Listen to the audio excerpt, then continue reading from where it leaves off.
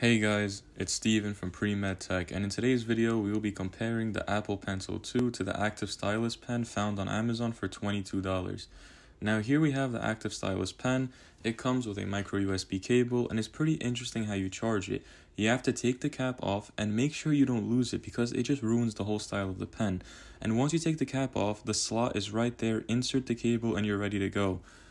Um, now, this pencil does work with iPads made in 2018 to 2020 only, so make sure your iPad is compatible. Here is the Apple Pencil 2, which is packed identical to the Active Stylus pen but with only one thing in the box, which is the pen itself. Now, it's very simple but does come with a lot of manuals which people most likely do not read.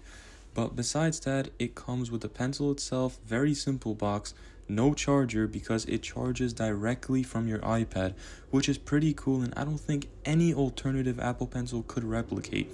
But it's not such an important feature because I mean, you don't charge the pencil that often. I decided to take biochemistry notes using the Active Stylus pen and the Apple Pencil 2 and compare both. When I was using the Active Stylus pen, it felt like I was using the Apple Pencil 2, even though I have not used an Apple Pencil 2 ever.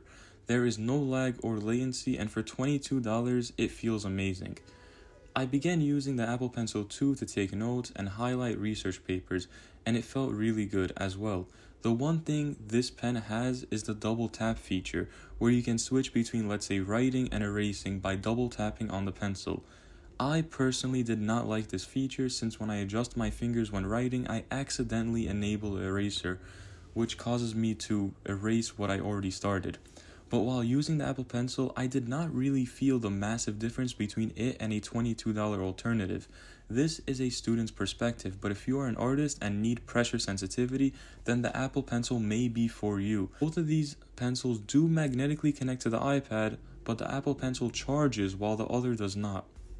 In my opinion, as a student, if you're on a budget, just go for the alternative Apple Pencil because it works exactly the same without some useless features. Save yourself a $100, which you can use to buy a keyboard or even just save it because you already spent a lot on an iPad. Um, thank you guys for watching. If you like this video, please give it a thumbs up and subscribe for more videos. See you guys soon.